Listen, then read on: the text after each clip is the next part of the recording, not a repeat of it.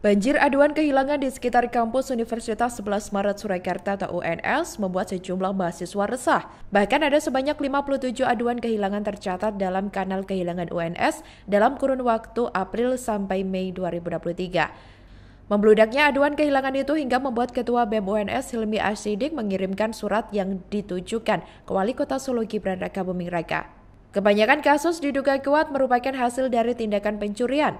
Hilmi mengaku tidak bisa menuntut peningkatan keamanan ke pihak UNS karena kasus sering kali terjadi di luar area kampus.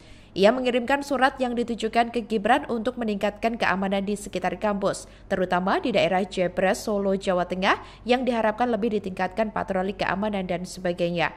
Peningkatan keamanan pernah dilakukan saat masyarakat digegerkan dengan beberapa orang yang menenteng senjata tajam di lingkungan sekitar kampus.